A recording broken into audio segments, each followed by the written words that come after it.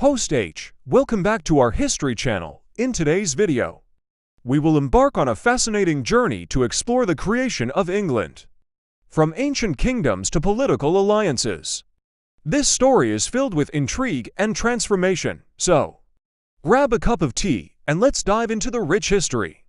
England's origins can be traced back to the early medieval period, around the 5th and 6th centuries AD. When the island of Great Britain was inhabited by various Celtic tribes, however, our story truly begins with the arrival of the Anglo-Saxons. In the 5th century AD, Germanic tribes known as the Anglo-Saxons including the Angles, Saxons, and Jutes, migrated from present-day Germany and Denmark to Britain. They gradually established a number of independent kingdoms across the island. These kingdoms, such as Wessex, Mercia, Northumbria, and East Anglia, existed for several centuries, often engaged in conflicts and power struggles. However, their common Anglo-Saxon culture and language laid the foundation for a unified identity Transition to Viking shops in the 8th and 9th centuries. England faced invasions by Viking warriors from Scandinavia, primarily from Denmark and Norway. The Vikings, known for their seafaring prowess, established their own settlements and exerted influence over the existing Anglo-Saxon kingdoms. Map shows Viking-controlled regions over time. The Vikings and the Anglo-Saxons intermingled leading to cultural exchanges and the emergence of a hybrid culture, however. This Viking period brought chaos and political instability to the region. Transition to the Battle of Hastings. The next crucial event in the formation of England was the Norman conquest in 1066.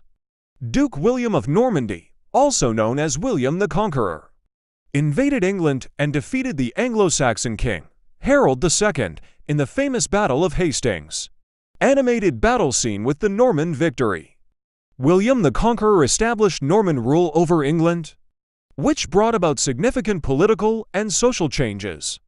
The Normans introduced feudalism, built castles, and replaced the Anglo-Saxon aristocracy with Norman nobles. Transition to King John and Magna Carta. H. Fast forward to the 13th century, we encounter King John whose tyrannical rule ignited discontent among the English nobles. This eventually led to the signing of the Magna Carta in 1215, a groundbreaking document that limited the king's power and established visuals of the Magna Carta. The Magna Carta laid the foundation for the concept of individual rights and the rule of law, which continues to shape English governance to this day. Transition to Tudor dynasty in the 15th century. The Wars of the Roses brought about another significant turning point in English history. The conflict between two rival branches of the Plantagenet dynasty, the House of Lancaster and the House of York, culminated in the victory of Henry Tudor. Visuals of Tudor monarchs.